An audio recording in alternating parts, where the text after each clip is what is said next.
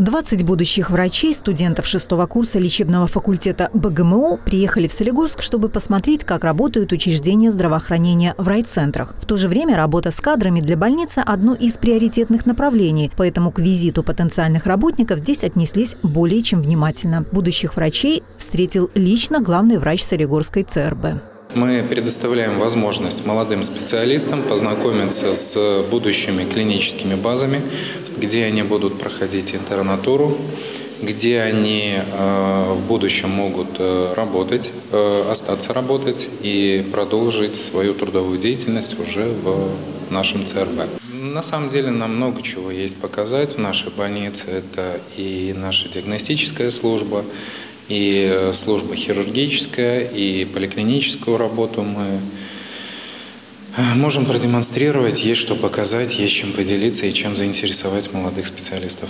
Александр Кисель рассказал студентам о городе и его инфраструктуре, поделился своей профессиональной биографией, рассказал о работе больницы ее структурных подразделениях, диагностических, лечебных реабилитационных возможностях, а также ответил на вопросы будущих врачей. После чего гости смогли посмотреть, как работают высокотехнологичные кабинеты больницы, ангиографические, магнитно-резонансной и компьютерной томографии.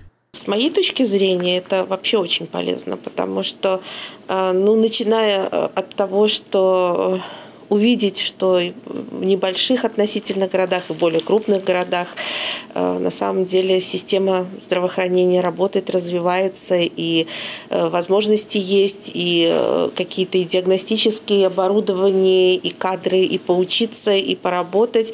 И но, во всяком случае, из того, что мы слышим от э, руководителей учреждений здравоохранения, как-то э, поспособствует закреплению молодых специалистов, возможно, там жилье, возможно, какие-то там, не знаю, все, что можно, видимо, там финансово стимулирующее и так далее. Э, это, конечно, очень приятно, это очень важно. Не секрет, что большинство выпускников медицинских университетов в районные больницы едут неохотно и хотят остаться работать в столице или, в крайнем случае, в областном центре. Хотя, увидев воочию возможности и условия работы, многие начинают оценивать ситуацию по-другому.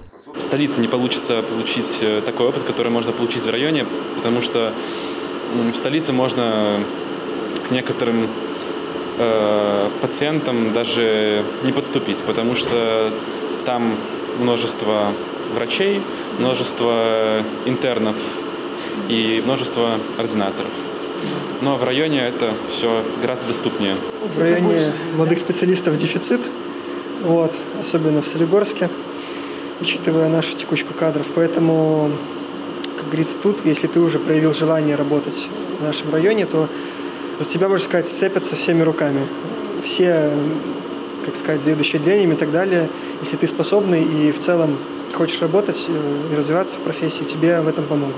Такие экскурсии, они во многом помогают развенчать, как уже сказал Саша, миф о том, что в ЦРБ страх и ужас, что как бы сюда не лучше, лучше не ехать. Солигорская ЦРБ давно является базой для прохождения интернатуры выпускниками медицинских вузов страны. В этом году 12 выпускников медицинских вузов начали годичную подготовку в интернатуре на базе поликлиник и отделений больницы. 14 молодых врачей-специалистов, которые в прошлом году прошли интернатуру, остались работать в Солигорске.